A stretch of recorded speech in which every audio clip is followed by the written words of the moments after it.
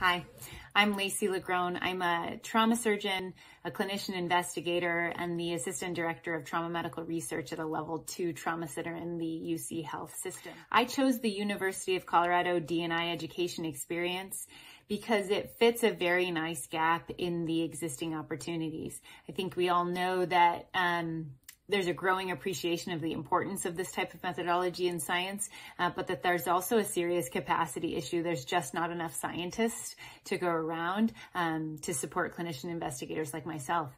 And so I had done a master's in public health and taken some implementation science uh, courses in there and worked with some implementation scientists and then done um, all of the short courses that I could find, those two to seven day intensive courses, um, but still wanted to grow in my ability to really do robust D&I research. Um, but then also because of my phase of life, not wanting to take um, two years off and move across the country to do a full-time fellowship or other graduate degree.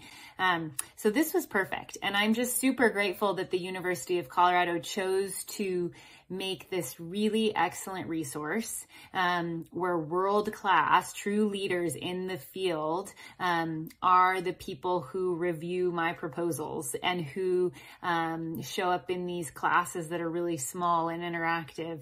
Um, so it's just really um, important to me as someone who cares about accessibility of research and and the um, capacity to help clinician investigators like myself um, contribute in a way that's responsible um, and robust and methodologically sound. Um, and so the University of Colorado has filled a gap that existed between those short courses and those more um, intensive several year experiences. And I'm so very grateful.